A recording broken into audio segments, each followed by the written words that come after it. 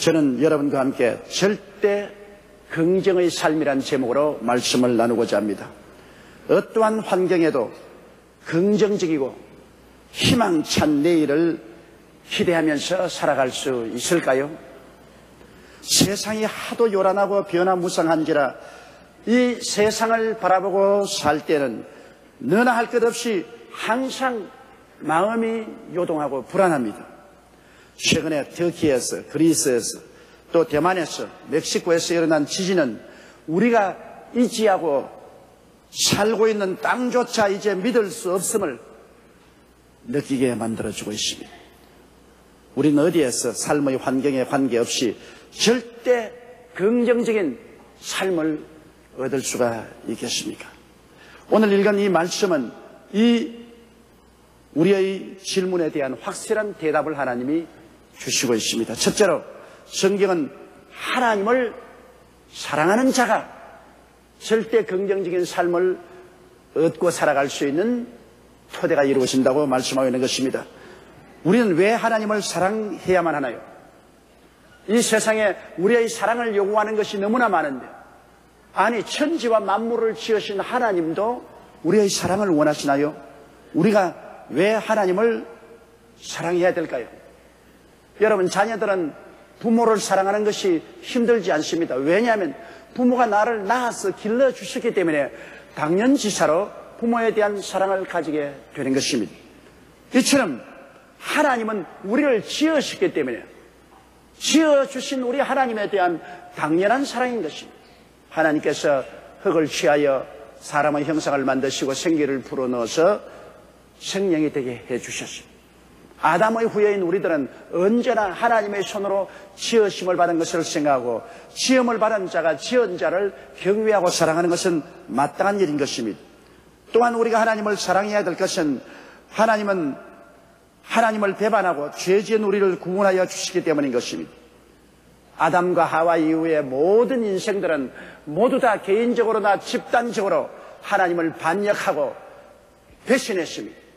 오늘날 또 온 세계가 악한 자의 손에 있으며 하나님을 배신하고 하나님의 이름을 경외치 아니하고 찬양도 아니하고 살아가고 있는 것입니다.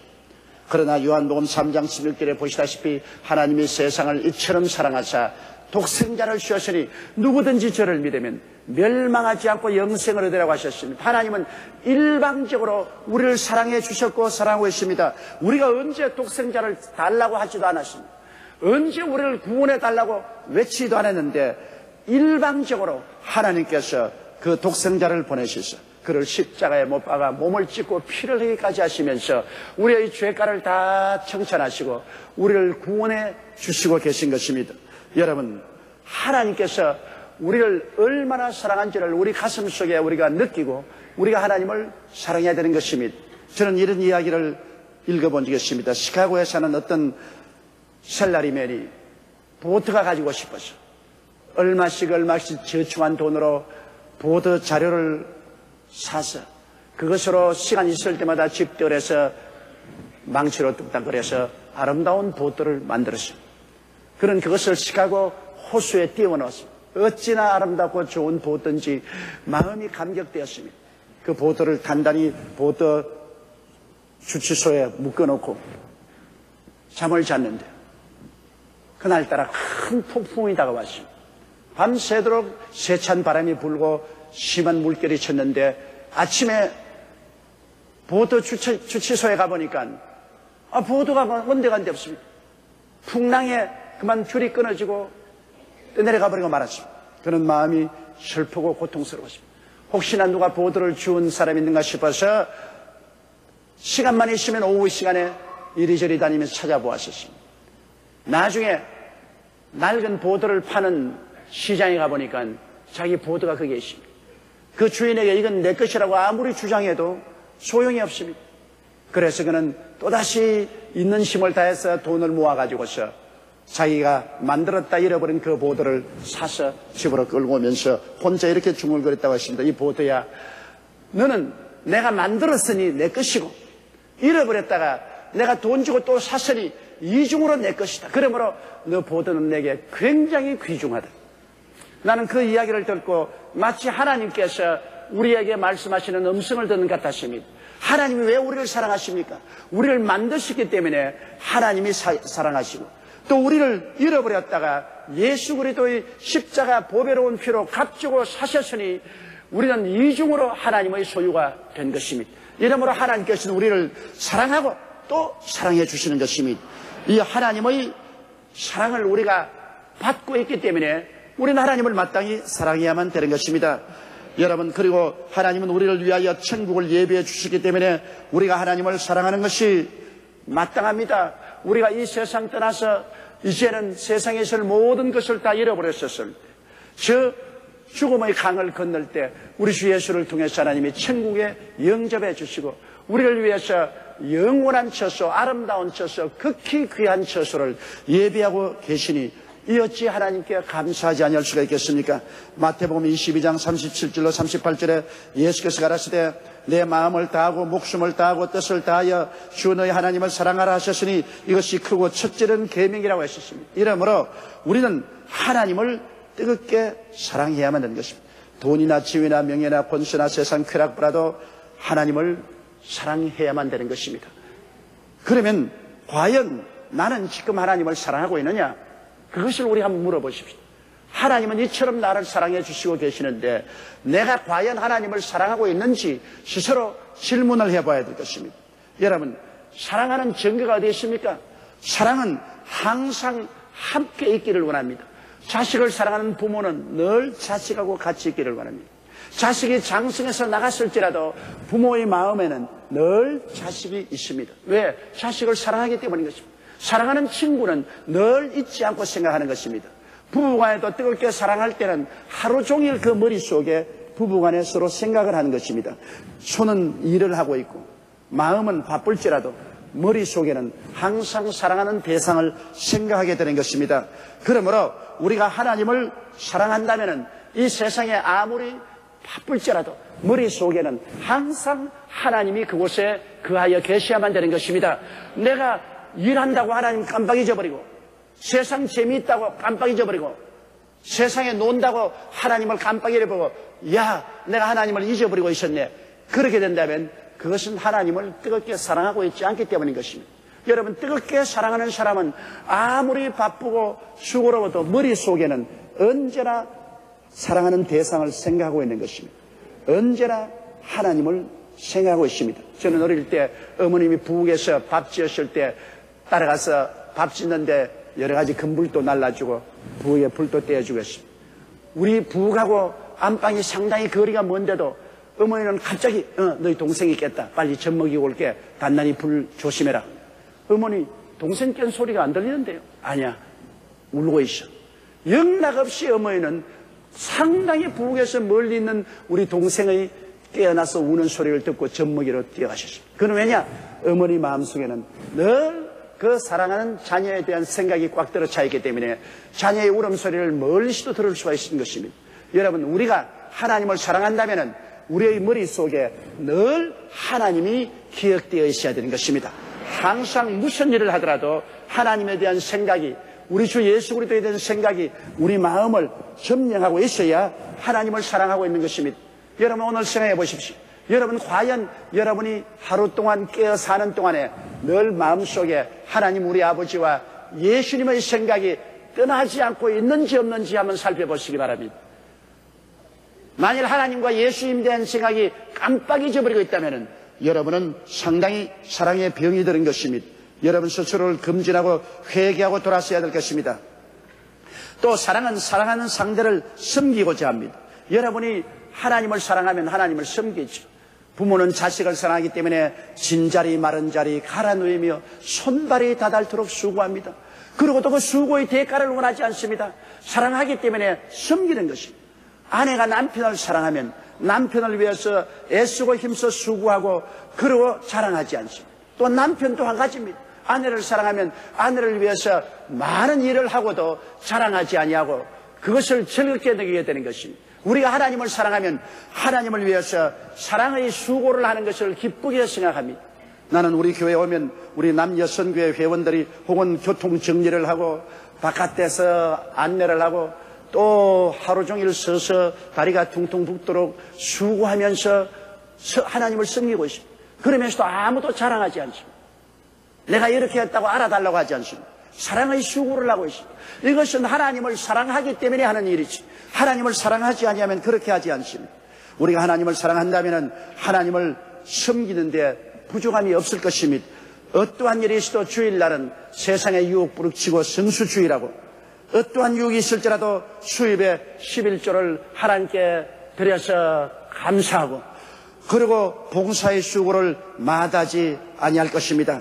여러분 말라기 3장 10절로 11절을 기억하시죠. 만군의 야외가 이르노라 너희의 온전한 11조를 창고에 들여 나의 집에 양식이 있게 하고 그것으로 나를 시험하여 내가 하늘 문을 열고 너희에게 복을 쌓을 곳이 없도록 붙지 아니하나 보라. 만군의 야외가 이르노라 내가 너희를 위하여 황충을 금하여 너희 토지 소산을 멸하지 않게 하며 너희 밭에 포도나무의 과실로 기한진에 떨어지지 않게 하리라 요번 태풍이 불어서 많은 논의 배가 쓰러졌습니다 여러분 아무리 1년 농사 애쓰게 지어도 태풍이 불어와서 모든 논밭의 곡식을 다 쓰러뜨리면 수고한 것이 헛되고 맙니다 곧 물에 젖은 곡식은 sak이 나버리고 못 먹게 되어버리고 마는 것입니다. 사람이 아무리 수와 애를 써도 하나님이 지켜주셔야 되는 것입니다. 하나님이 기후도 지켜주시고 병충해서 지켜주셔야만 올바른 수확을 할 수 있는 것입니다. 그러므로 우리가 하나님께 11조를 드리고 성수주의를 하고 하나님을 섬기는 삶을 살아서 하나님을 사랑하는 증거를 보이면 하나님 말합니다. 나는 나를 사랑하는 자를 내가 사랑한다고 그렇게 말씀하시고 계신 것입니다. 이러므로 너희 물질인 곳에 너희 마음도 있다고 했었으니 우리가 하나님을 사랑하면 시간 들여 물질 들여 몸 들여 수고하면서 숨겨야 하나님을 사랑하는 것입니다. 또 사랑은 사랑하는 상대를 항상 기뻐하고 찬양하며 자랑하게 됩니다. 여러분 사랑하는 사람을 만날 때 얼마나 기쁩니까? 이번 추석 때 자녀들이 시골에 부모를 만나러 가니 부모님들이 얼마나 기뻐합니까? 왜? 사랑하기 때문에. 친구들도 사랑하는 친구를 만나면 얼마나 상대를 인하여 기뻐합니까? 왜냐? 사랑하기 때문에. 하나님을 만나는 것이 마음의 기쁨이 넘쳐야 됩니다. 우리가 교회 나오는 것이 기뻐서 마음이 흥분돼야 됩니다. 왜? 하나님을 만나러 가기 때문인 것입니다. 예배 드리러 갈 때 즐거움이 넘쳐야 됩니다. 왜 하나님을 만나러 가기 때문인 것입니다. 억지로 하고 임으로 하면은 그게는 사랑이 들어있지 않습니다. 사랑은 내가 사랑하는 대상을 기뻐하고 즐거워하고 자랑하게 되는 것입니다. 시편 100편 3절로 4절에 야외가 우리 하나님이신 줄 너희는 알지어다 그는 우리를 지으신 자시요 우리는 그의 것이니 그의 백성이요 그의 기르시는 양이로다 감사함으로 그 문에 돌아가며 찬송함으로 그 궁정에 들어가서 그에게 감사하며 그 이름을 송축할지라고 말한 것입니다. 이러므로 여러분 우리가 항상 하나님을 사랑하는 사람이 되어야 되는 것입니다. 하나님의 사랑을 받고 하나님을 사랑하는 사람이 되어야 하나님이 모든 일에 우리를 붙들어 주심으로 긍정적으로 살 수 있는 것입니다. 둘째라 성경은 곧 그 뜻대로 부르심을 입은 자들이 하나님과 함께하고 하나님이 언제나 긍정적으로 붙들어 주신다는 것입니다. 여러분 부모의 뜻에 순종하는 자녀는 부모의 사랑과 복을 받으며 남편의 뜻을 따르는 아내는 남편의 사랑과 귀여움을 받게 되는 것은 당연한 일인 것입니다. 우리가 하나님의 뜻을 따라 살아야 하나님이 우리를 기뻐하시지 하나님의 뜻을 거역하고 하나님을 반역하고 하나님과 실험하게 되면 하나님이 그 사람을 사랑할 수가 없지 않습니까? 그 뜻대로 부르심을 입는다는 것은 무엇입니까? 우리가 하나님의 뜻을 알고 그 뜻을 실천하는 것입니다. 하나님의 일방적인 뜻은 데살로니가 전서 5장 16절로 18절에 잘 기록되어 있습니다. 항상 기뻐하라. 쉬지 말고 기도하라. 범사에 감사하라. 이는 그리스도 예수 안에서 너희를 향하신 하나님의 뜻이니라. 일방적인 하나님의 뜻은 우리가 다 생활에 실천할 수 있는 것입니다. 우리가 기뻐할 수 없는 것도 늘 기뻐하고 늘 크고 적은 일을 항상 하나님께 기도하고 그리고 좋은 일에도 감사하고 나쁜 일에도 감사하고 모든 것을 합쳐서 감사라고 말하고 있는 것입니다. 대전 순복음교회 목사인 우리 김승창 목사님이 예배를 인도하고 계단에 내려오다가 넘어져서 발목이 부러졌습니다. 그래서 발목 기부술을 했습니다. 기부술을 하고 난 다음에 강단에서 설교하려니까 불편하기도 하고 부끄럽도 했습니다. 다리가 아파 그냥 서서 설교 못하니까 강당에다 글상을 갖다 놓고 앉아서 설교를 합니다. 그러니 교인들이 볼 때, 자, 주의 종이 왜 저렇게 다리를 다쳐서 저렇게 앉아서 설교를 하냐. 마음에 늘 괴로움이. 하나님, 이러한 일에 내가 무, 무엇을 감사하라 말입니까? 범사에 감사로 했는데 내가 다리가 부러져서 성도들 앞에 글상을 놓고 앉아가지고서 설교를 하는데 하나님이여 이것도 감사할 것입니까? 그렇게 자기가 물었답니다. 물으니까 야 임마 감사해라. 목 안 부러진 것만 해도 얼마나 감사하냐. 그래서 자기 깨닫다 가시다. 아이고 하나님 계단에 내려오다가 넘어져서 목이 부러졌으면 영원히 안진뱅이가 됐을 것인데 다리 발목만 부러진 것만 해도 너무나 감사합니다. 우리가 자꾸 위를 쳐다보니 감사를 하지 않지 밑을 내다보고 살면 감사할 일이 너무나 많은 것입니다. 나보다 형편이 어렵고 고달픈 사람도 얼마나 많지 않습니까? 우리 하나님께서 어떠한 사람을 기뻐하시느냐? 항상 기뻐하는, 늘 마음에 기쁨을 가지는 것. 여러분 다른 것 다 제껴놓고라도 예수님이 우리가 구주가 된 것 생각할 때 기뻐하지 않을 수 없습니다. 우리가 이 멸망받을 세상에서 구원을 받아 영원한 천국에 가게 되었으니 이것만 생각해도 안 기뻐할 수가 없죠. 그리고 늘 크고 작은 것을 하나님께 기도하라는 것은 하나님이 우리의 기도를 듣고 도와주기를 원하기 때문인 것입니다. 그리고 범사에 감사한 것은 우리가 생각에는 안 된 것 같아도 먼 눈으로 보면 그것이 나중에 좋을 때가 너무나 많습니다. 하나님은 영원을 두고 계획하는 것이기 때문에 현재 입에 단 것만 주지 않습니다. 현재 입에 쓴 것을 주므로 장차 좋아질 수 있게 하기 위해서 여러 가지 고통과 괴로움도 하나님이 주시는 것입니다. 그렇기 때문에 입에 단 것만 가지고 감사하지 말고 입에 쓴 것도 가지고 감사할 것은 하나님이 나를 사랑하고 있기 때문에 믿고 감사할 수가 있는 것입니다. 하나님의 특별하신 뜻을 알기 위해서는 여러분 하나님의 말씀을 열심히 공부해야만 되는 것입니다. 시편 119편 105절로 107절에 주의 말씀은 내 발의 등이요 내 길의 빛이니이다. 여러분 하나님의 말씀이 내 발의 등이요 내 길의 빛이 되어서 어두움을 밝혀주기 때문에 우리가 하나님의 뜻을 알려면은 늘 정규적으로 하나님 말씀을 공부해야 되는 것입니다. 하나님의 말씀을 공부해 놓고 있으면 성령이 나중에 내가 어떻게 할지 모를 때는 그 말씀을 우리 마음속에 기억나게 해주시는 것입니다. 내가 말씀의 창고에 말씀을 채워놓아야 성령이 구약과 신약에서 그 말씀을 끌어내어서 기억나게 해주시는 것입니다. 그러므로 하나님의 특별하신 뜻을 알기 위해서는 하나님의 말씀을 평소에 늘 열심히 읽고 듣고 공부를 해놓아야 되는 것입니다.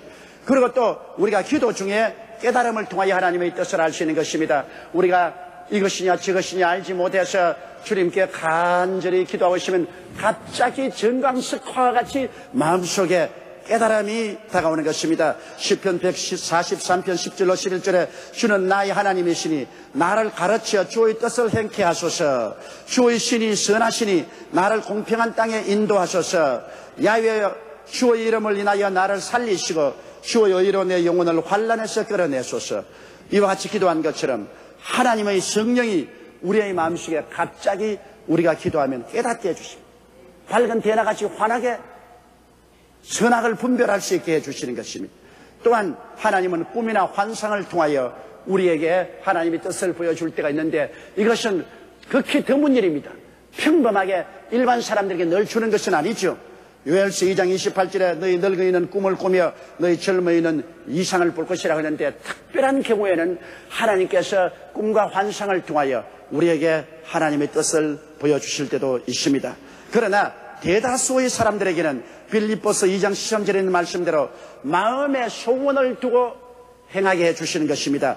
한번 따라 말씀해 주시죠. 너희 안에 행하시는 이는 하나님이시니 자기의 기쁘신 뜻을 위하여 너희로 소원을 두고 행하게 하시나니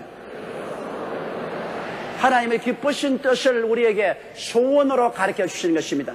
내가 갑자기 기도하는데 계속해서 소원이 일어납니다. 갑자기 소원이 계속 일어나요. 누구를 신방하라, 누구를 신방하라, 소원이 일어납 누구를 만나라, 만나라, 만나라, 소원이 일어납 이것을 하라, 이것을 하라, 이것을 하라, 기도할 때 자꾸 소원이 일어납니다. 이런 소원을 통해서 하나님은 당신의 뜻을 보여줄 때가 많이 있습니다. 대다수의 사람들은 기도할 때 그 마음의 소원을 통하여 하나님의 분명한 뜻을 보여주실 때가 많습니다. 그리고 하나님은 환경을 통하여 우리에게 말씀하여 주시는 것입니다. 내가 아무리 가려고 해도 하나님 그 길을 자꾸 막으시고 내가 생각지 않은 길을 열어놓습니다. 내가 또 생각지 않은 사람을 만나서 그 사람의 인도를 받게 됩니다. 이처럼 우리 예수 믿는 사람은 환경에 깊은 관심을 기울여야 됩니다. 하나님은 우리에게 환경을 통하여 인도할 때가 많습니다. 평범한 예수 믿는 성도들에게는 여러분 우리의 기도를 할 때 마음의 소원을 통하든지 우리 주위 환경의 변화를 통해서 우리에게 하나님이 깨달음을 허락하여 주셔서 이 길이니 이 길로 가라 하나님의 뜻을 보여주시는 것입니다. 그뿐 아니라 우리들은 하나님의 뜻을 알려고 늘 노력을 해야 되는 것입니다. 에베소서 5장 15절로 17절에 그런즉 너희가 어떻게 행할 것을 자세히 주의하여 지혜 없는 자같이 말고 오직 지혜 있는 자같이 하여 세월을 아껴라 때가 악하니라 그러므로 어리석은 자가 되지 말고 오직 주의 뜻이 무엇인가 이해하라 주의 뜻이 무엇인가 이해하기 위해서 평소에 우리가 늘 애쓰고 노력해야 되는 것입니다. 이래서 하나님을 사랑하는 자, 곧 그 뜻대로 부르심을 입은 자, 우리가 하나님의 뜻을 알고 그 뜻을 따라서 사는 이 사람들에게는 셋째로 모든 것이 합리하여 선을 이룬다고 말하는 것입니다. 우리의 삶에 다가오는 좋은 체험은 문제가 되지 않습니다. 좋은 것은 항상 좋지 않아요. 그러나 우리에게 다가오는 나쁜 것들조차도 합리하여 선이 된다는 것을 하나님이 말씀해 주고 있는 것입니다. 나쁜 것이란 무엇일까요? 병드는 것과 학교에 낙방하는 것과 직업을 잃은 것과 사업에 실패하는 것과 성진에 누락되는 것과 재물의 손해를 보는 것 등 이러한 여러 가지 나쁜 일들이 다가오게 될 때 그로 말미암아 낙심해서는 안 됩니다. 신명기 4장 30절로 31절에 이 모든 일이 내게 임하여 환란을 당하다가 끝날에 내가 내 하나님 야외로 돌아와서 그 말씀을 청종하리니 내 하나님 야외는 자비하신 하나님이심이라 그가 너를 버리지 아니하시며 너를 멸하지 아니하시며 내 열주에게 맹세하신 언약을 잊지 아니하시려 환란을 당하나 우리가 하나님께 의지하고 있으면 주님께서 언제나 끝이 좋게 만들어 주시는 것입니다. 합력하여 선을 이루는 하나님의 섭리를 우리가 늘 믿어야 되는 것입니다. 하나님을 사랑하고 하나님의 뜻을 따라 살려고 애쓰는 사람은 눈을 들어 멀리 바라보고 희망과 긍정적인 생각을 갖고 현실을 탄식하지 말아야만 하는 것입니다. 전도서 7장 13절로 14절에 하나님의 행하시는 일을 보라. 하나님이 굽게 하신 것을 누가 능히 곧게 하겠느냐. 형통한 날에는 기뻐하고 곤고한 날에는 생각하라. 하나님이 두 가지를 병행하게 하사 사람으로 그 장래일을 능히 헤아려 알지 못하게 하신다니라. 이러므로 형통한 날에는 기뻐하고 공고한 날에는 생각하며 모든 것을 합동하여 유익하게 해주실 하나님을 생각하고 오히려 기뻐하고 기도하고 감사할 줄 알아야 되는 것입니다. 하나님은 우리의 삶을 수틀에 수를 놓듯 하는 것입니다. 여러분 손으로 수 놓는데 그 뒤를 보십시오. 빨간 실, 파란 실, 노란 실이 막 얽히고 설켜서 형편없습니다. 저것이 무슨 수가 되겠느냐. 그러나 수를 다 마치고 탁 돌려놓으면 거기서는 아름다운 화초가 피어있고 물이 흐르고 새들이 노래하고 나비가 날아가는 아름다운 그림이 되는 것입니다.